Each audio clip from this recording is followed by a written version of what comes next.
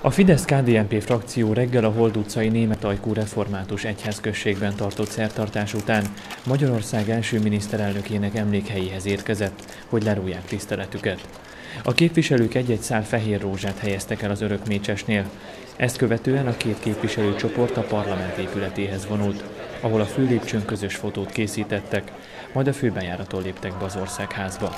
Az ülésen Áder János köztársasági elnök Orbán Viktor jelenlegi kormányfőt javasolt a miniszterelnöknek, emellett megválasztották a parlamenti tisztségviselőket, és létrehozhatják az új bizottsági struktúrát. Szabó Zsolt térségünk országgyűlési képviselője már második alkalommal kapott bizalmat a választóktól. Nagyon magasztos és felmerő érzés, úgy, hogy első alkalommal is az volt. Négy évre bizalmat kaptam ismételten, nagyon hálás vagyok érte, és Heves megyét és a körzetemet, tehát Heves város és körzetét, az alsó parlamentét és 60 és körzetét úgy kívánom képviselni, hogy méltó legyek arra a bizalomra, amit kaptam tőlük. A polgármesterségi funkció ugye meg fog szűnni.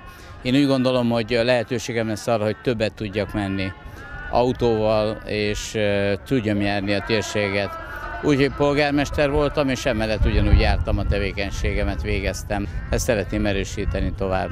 Szabó Zsolt az előző négy évben is egy fontos bizottság alelnöke volt, a következő ciklusra pedig a Törvényalkotási Bizottság alelnökének választották meg. Ennek a bizottságnak a jogszabályok és a módosító indítványok megalkotásában lesz szerepe.